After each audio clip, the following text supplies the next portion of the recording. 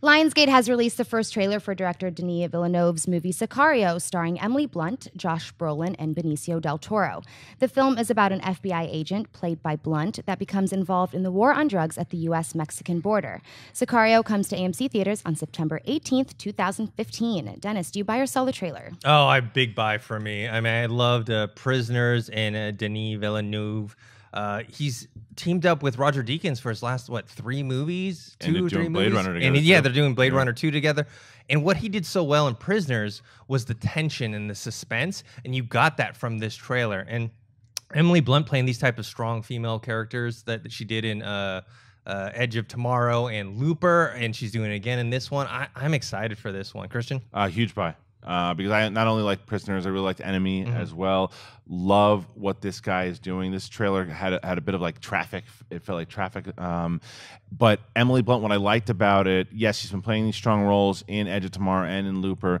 But this one seems to have that strong character, but there's also a bit of vulnerability too, to where she's. It looks like she's on the side of.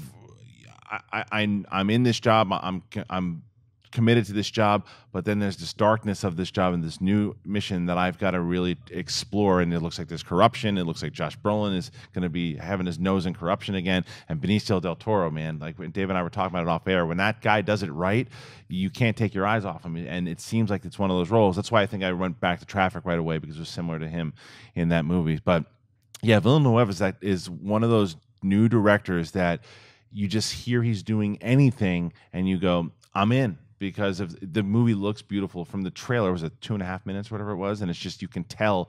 It, th- there's certain directors that are stars, and they become like you, you have Tarantino and Nolan and dudes like that. Their style becomes their movies, and they're the movie. They're the stars of the movie, and he's becoming one of those guys. So I'm all on board. It's one of my most anticipated films now after watching this trailer. David, Yeah, def, big buy for me as well. I, I love the look of it, the atmosphere. I, I assumed when I first saw the trailer, I was like, there's got to be a Cormac McCarthy book," just because of the he's so obsessed with the decay of the Southwest, and you know, of course, you had that Ridley Scott, you know, uh, film that, that, that didn't do too well. The last Cormac McCarthy. This isn't him, but it just looks like that. It looks incredible, and Benicio is on point. I buy Emily Blunt every single time I see her in a movie. Uh, I think I first fell in love with her, if I can say that, was in Devil Wears Prada.